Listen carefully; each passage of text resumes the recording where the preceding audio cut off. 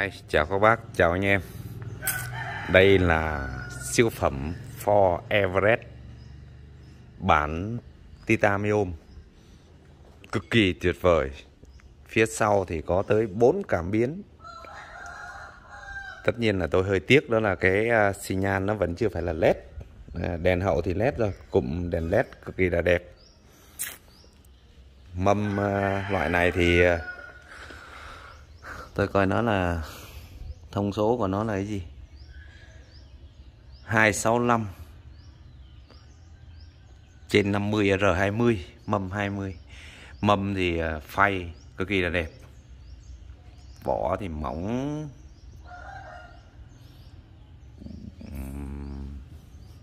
Bệ để chân thì, bước chân thì to. Cảm biến thì à, chìa khóa thông minh cảm biến. Đẹp. Tuyệt vời. Phía đường trước này thì à, cụm đèn led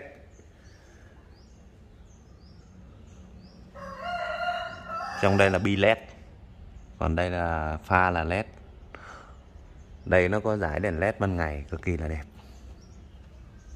Cảm biến. Đường trước cùng bốn cảm biến. Cái lưới tản nhiệt tổ ong nhìn à, khá là đẹp.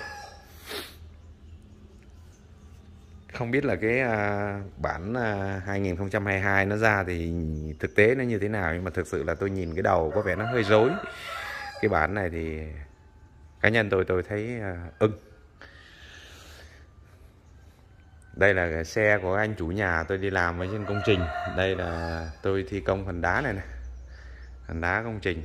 À, tiện đây thì quay chúng ta xem thôi à, mời các bác chúng ta vừa xem đá vừa uh, xem xe.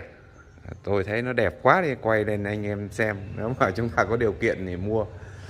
Tôi thì nói thật là nếu mà một ngày nào đó tôi có điều kiện thì tôi cũng không mua Everest nữa.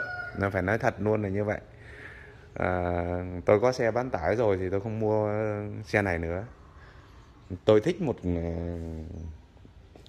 cái xe Lexus. Nói thật luôn là như vậy nhưng mà để mà đi làm đá như thế này mà để có tiền mua Lexus thì lâu lắm. Không biết đến khi nào luôn. À, không không không không không có điều kiện để mua. Để mà mua được thì chắc có lẽ là phải lâu lắm lâu lâu lâu lắm và làm không biết đến khi nào mới có được.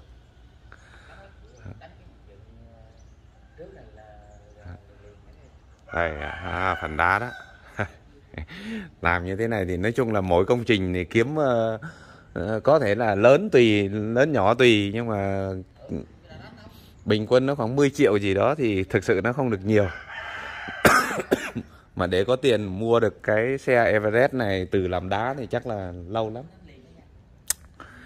À, xe này anh cũng tôi thấy anh cũng ít đi lắm.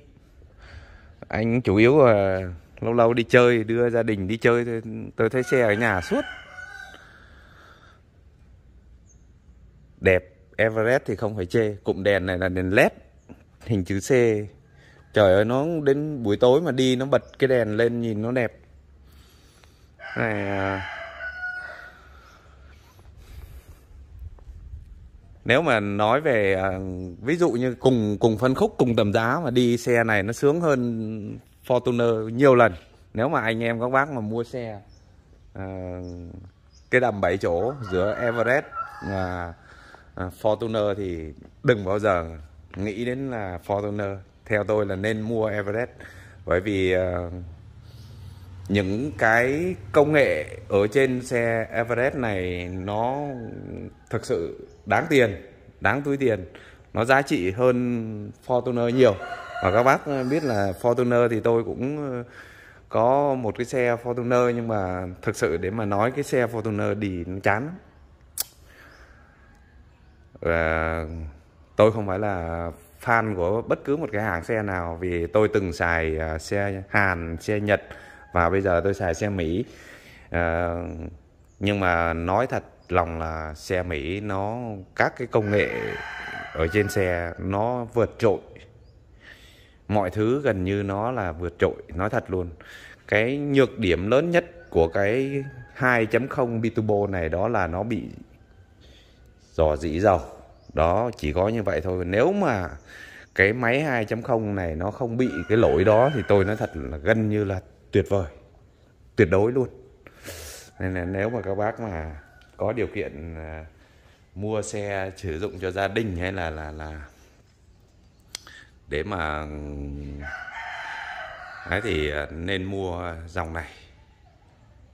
Ngon còn như tôi làm đá nói thế thôi nhưng mà không biết khi nào mới có tiền nếu mà mua cái này. Thôi vui vui ờ, buổi sáng ờ, tiện có cái xe ở đây quay chúng ta cùng ngắm vậy thôi. À, xin chào các bác chào anh em.